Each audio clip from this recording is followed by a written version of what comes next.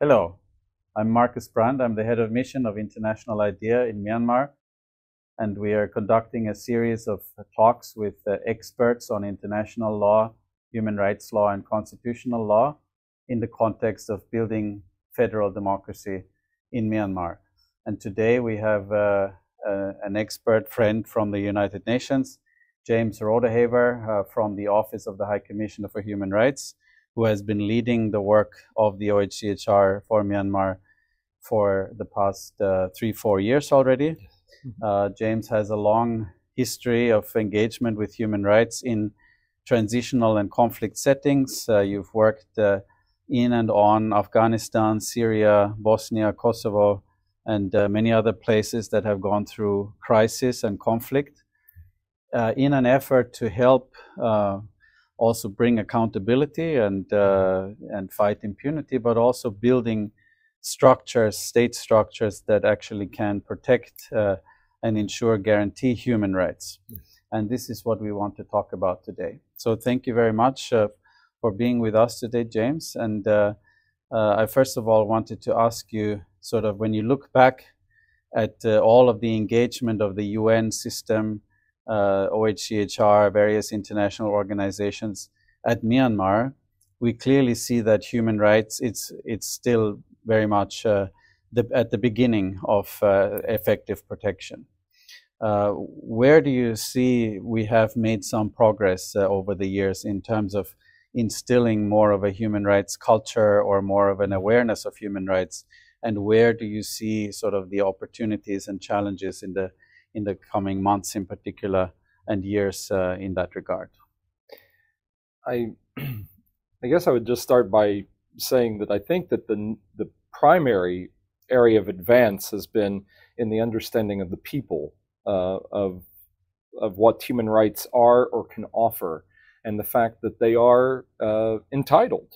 Uh, you know, they have the, the, these rights that are part and, and parcel of their humanity and uh, and you can see that that hunger and determination in the people in the way that they have resisted uh, the seizure of their democracy, and uh, I think that's a very positive sign, even if it has led to uh, disastrous consequences for the people. And uh, what I think it has laid bare is just how deep the challenges the people will face moving forward that there has to be a, a civil service uh, and government institutions that also recognize these rights and that know, most importantly, how to uh, how to give um, tangible uh, voice and and action to these rights, how to help the people to realize their rights.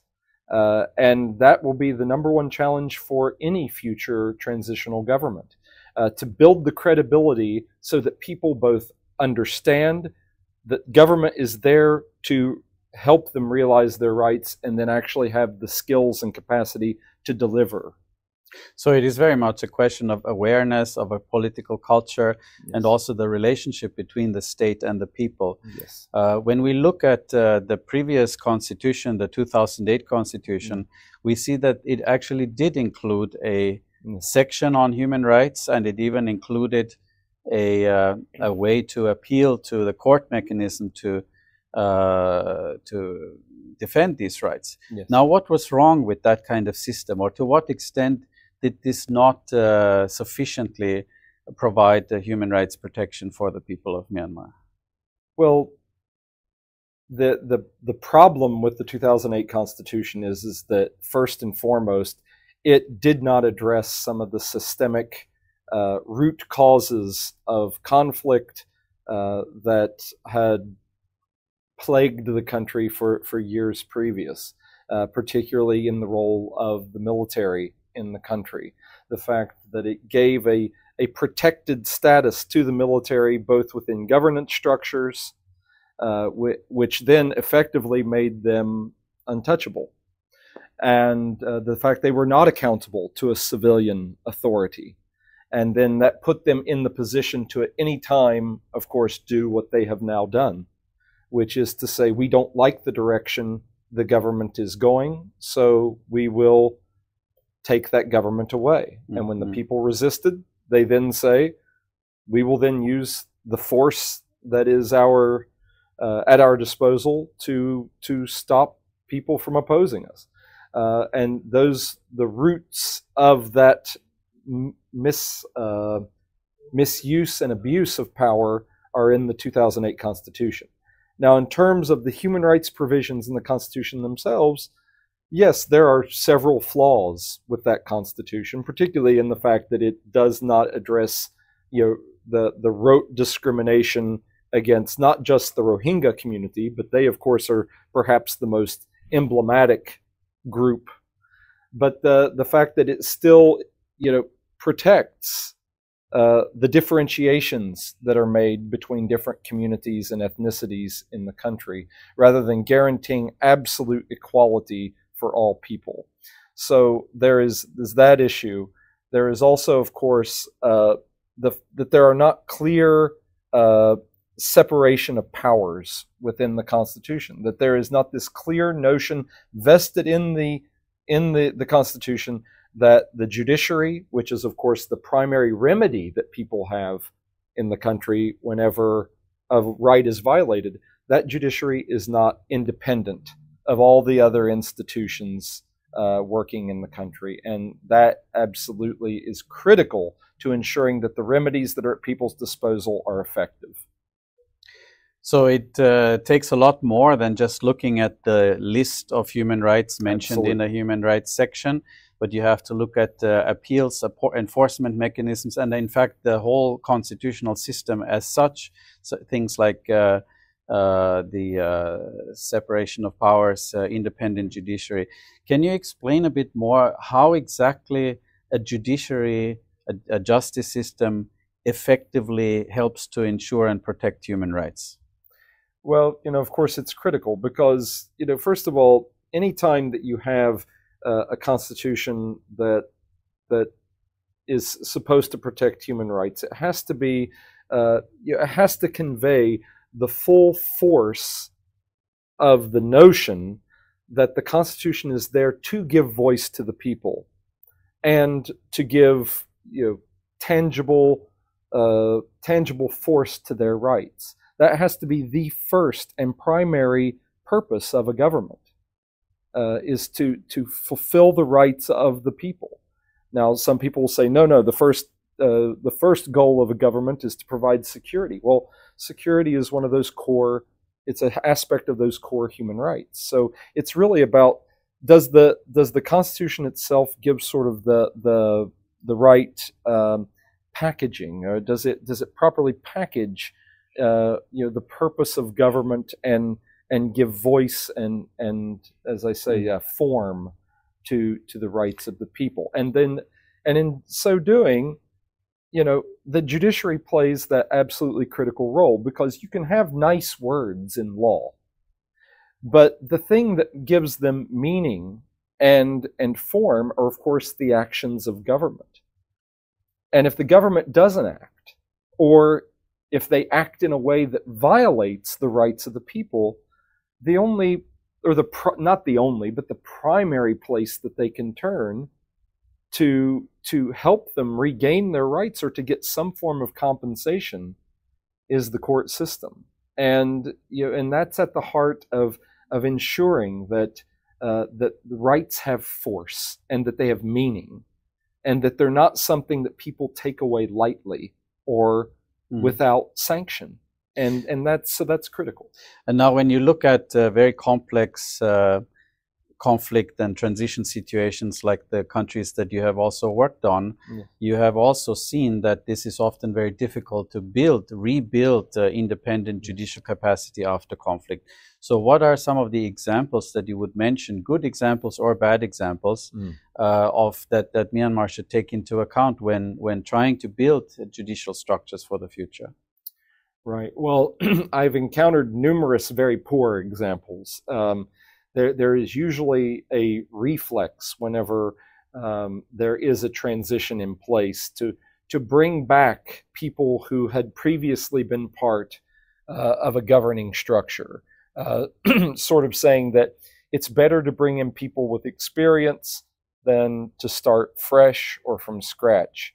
And that often means that people come back into uh, office and capacity and they have not been held accountable for their own failure to do their job in past uh, or to address abuses that they committed whenever they were judicial officials.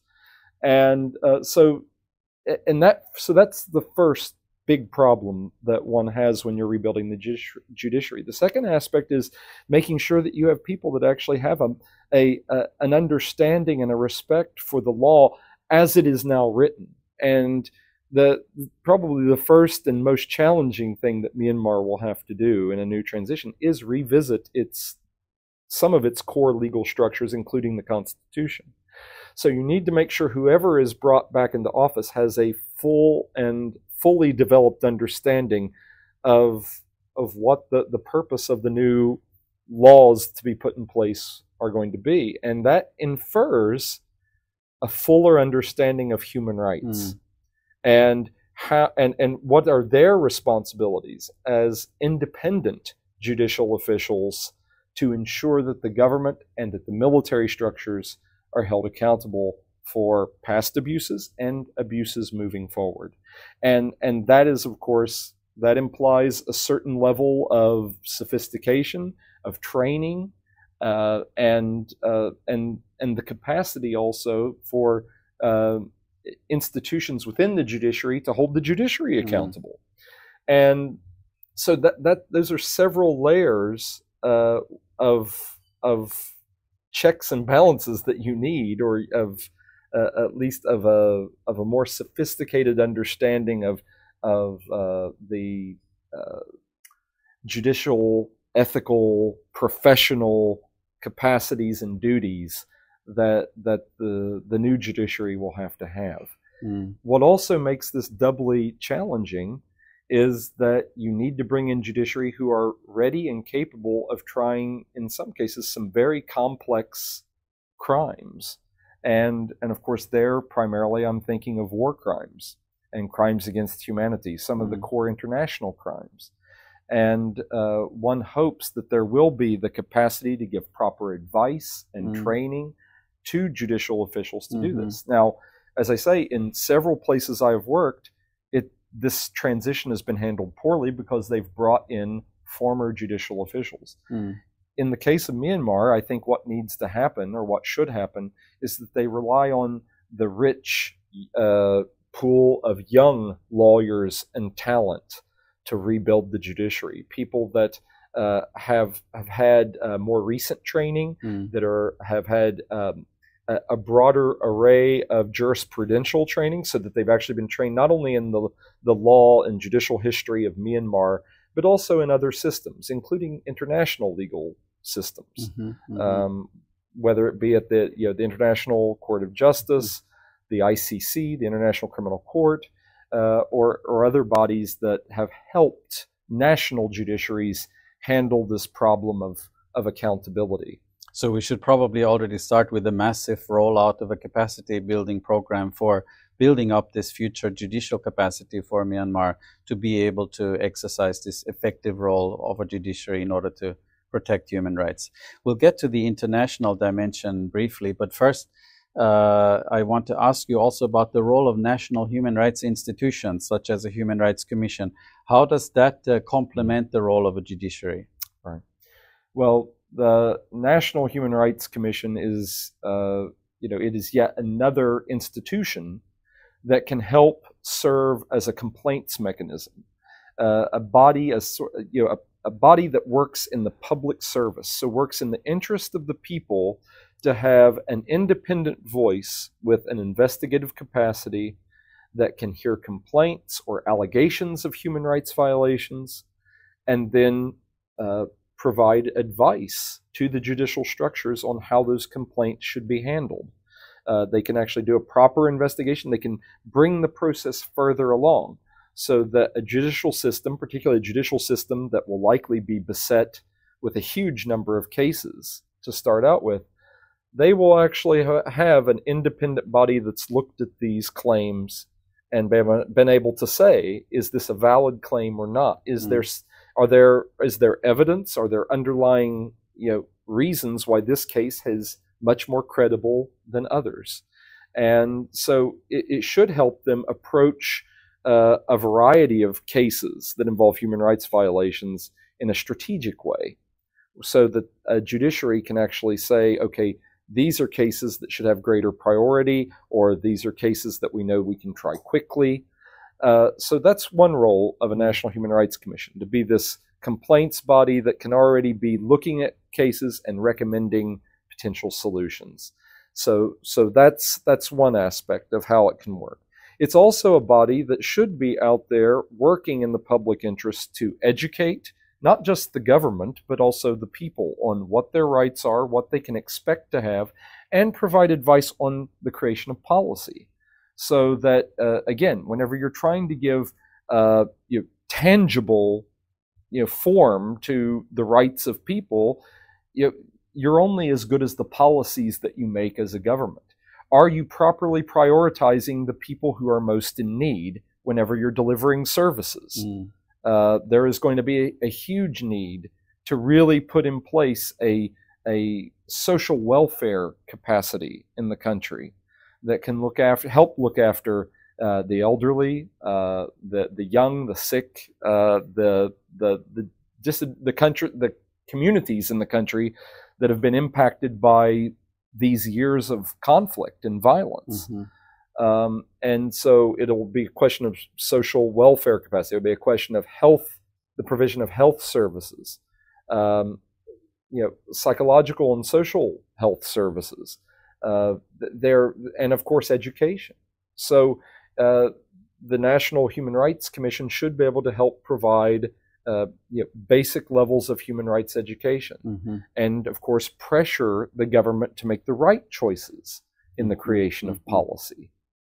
Uh, the other aspect the national human rights community provides is also it, it serves as sort of a, a, coordinating center of gravity for civil society.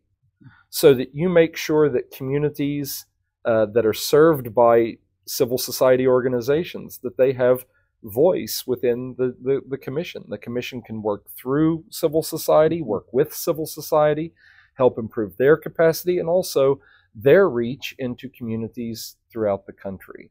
And so uh, th- there are a variety of ways that the, the commissions, if they're run properly, mm-hmm. can be uh, a huge help to, to the people, but also to the government.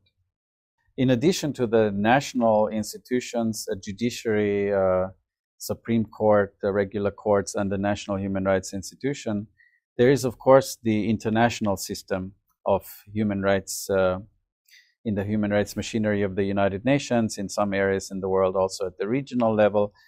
Uh, now, the relationship between international law, international human rights law, and national constitutional law is different in different countries. And uh, in Myanmar, that also is still under discussion to what extent international law will, uh, in the future, uh, have direct effect, for instance, uh, in the in the national uh, jurisprudence.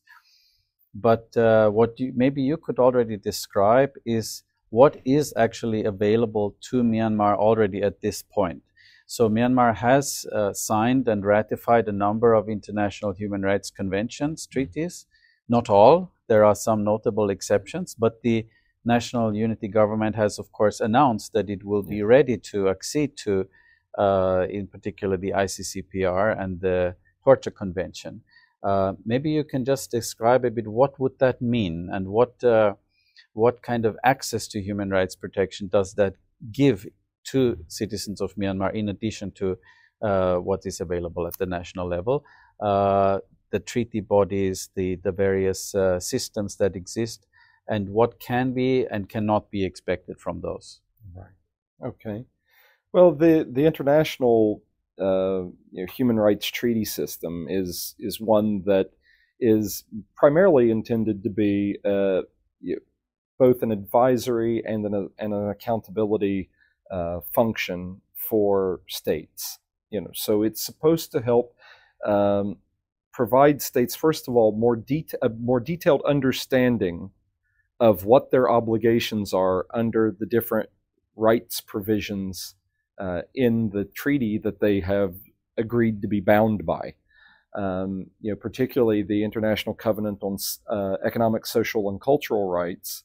Uh, it is you know the treaty that sort of provides you with an overview of what the core minimum obligations of a government should be uh, to meet the social and economic needs of its people, and and then by extension also provide a framework under which they can report regularly back on how they're helping get better over time. And then this body of experts that services this treaty body and, and, and all the other treaties have their own expert committees. They can then provide advice on whether or not what the state is doing is enough, or perhaps other things the state should try to improve their performance so that they're actually meeting their human rights obligations, whether it be on the, the right to, um, uh, to, to you know, uh, organize uh, in labor relations, uh, the right to have access to social assistance uh, or, or forms of social welfare, uh, you know, health, you know, the right to, to health and a healthy environment. So some of these sort of core uh, rights that really affect the, the conditions that you live in on a day-to-day basis. These these bodies can help you can help the government understand how to fully or more fully improve their performance in delivering the on these rights. Uh, there are also, of course, the, the tr- other treaties that, that Myanmar belongs to, um, such as the the the uh, Convention on the Rights of the Child or uh, the Convention on the Elimination of Discrimination Against Women, where again it helps them to recognize what more they can do to address uh, the you know discrimination against women, how they can better realize uh, equality, um, and uh, and then for children, of course, to better understand the range of areas where the government should be providing tangible uh, assistance to children to ensure their rights are met. Now, the other function that some of these conven- these committees provide uh, under these conventions or treaties is they provide a complaints function. So, and what this essentially is is it's a uh, it's a it's a a port of last resort, uh, where if there is a sense that the national institutions are not meeting their obligations to an individual, and these individuals have tried to address these issues in the the national mechanisms or, or institutions and have not been helped in any way, or if their case has not been resolved, they can then take it to these committees mm-hmm. and say, you know, my rights have been violated. I have tried to address this to the government. I have tried to address it to the courts. I have gotten no assistance. And then the committee can actually provide an expert opinion on whether they think the convention has been violated or not, whether the state has violated their obligations mm-hmm. to the individual or not. Mm-hmm. And then so it also provides that level of, of accountability or uh, at least uh, an additional uh, you know lifeline to the individual if they really feel that their rights have been taken away mm-hmm. or violated in some way. Mm-hmm. So that that system it provides several different layers then where a state if it's failing to meet its obligations they have ways to, to both seek help mm-hmm. and assistance and guidance, and of course have a, an objective, independent uh, review mm-hmm. uh, from time to time to say, you know, have you done enough? You know, do you where do you need to do more? Mm-hmm. How can you do more? And and then the last sort of one of these mechanisms that are interrelated is the universal periodic review, which is a function of the Human Rights Council of the United Nations, which is one of the the the you know uh, multi-state you know uh, bodies or mechanisms of the United Nations, uh, multilateral bodies of the United Nations, provided for in the UN's own charter, in which states agree to be examined by their peers, by by other states, and then they go through not only the different recommendations and guidance and, and advice that's been given by those treaty bodies, mm-hmm. but they also then you know offer their own opinions mm-hmm. and mm-hmm. advice to states. So it's really states holding states mm-hmm. accountable. Mm-hmm. And uh, so what that does is it also gives an extra layer of sort of uh, scrutiny to mm-hmm. what states do. So it what it means is that really, if a government is being um, honest and if it's being uh, if it's open to you know, wanting help mm-hmm. and seeking advice, mm-hmm. there's no shortage of ways in which they can get advice mm. on uh, on a detailed expert level on areas where they should focus mm-hmm. if they want to improve their human rights performance.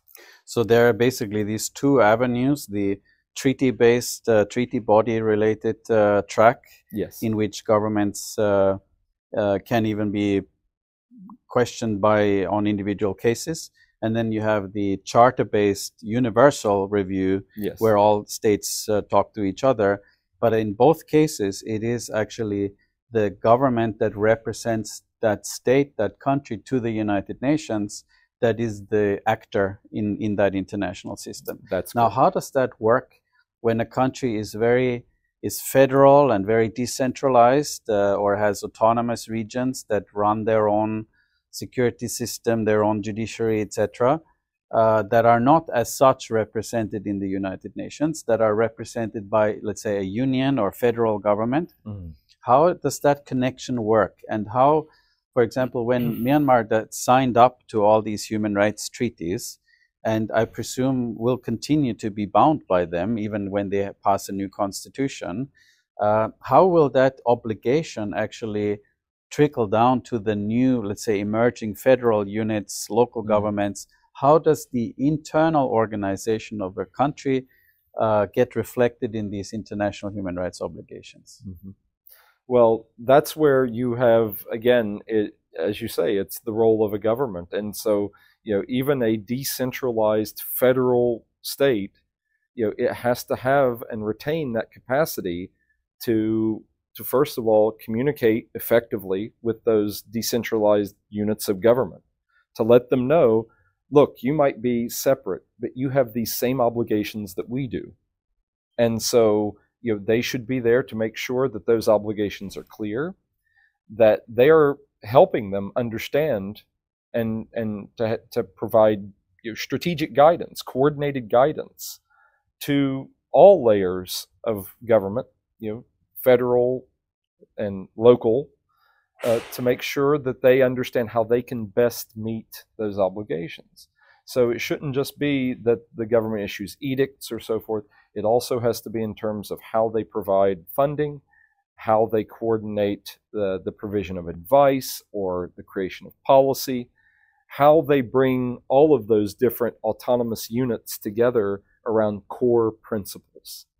And that's another reason why I think it's critical that human rights not just be an isolated section of a constitution, but it be the core rationalization as to why the government exists and government at all levels, mm. not just the the federal government, the chapeau government mm. that, hmm. that gets the attention internationally uh, but at all layers of government. They realize their power flows from the people, and it's their role and obligation to meet the rights of the people, mm. to ensure that their rights are not violated, to make sure that the people have a, a, an ability to understand their rights and realize their rights. And that to me is a critical role of any federal government, that they make sure that that be the organizing force and power of the policy that they issue, mm.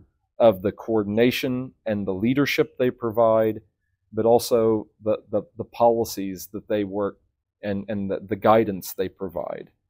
So, an individual citizen in any given part of the country, let's say a federal state uh, that has a large degree of autonomy, whose rights may be violated by that local or regional government, must have access to recourse, judicial recourse at the national level, uh, but then also indirectly to the international level in order to guarantee their human rights.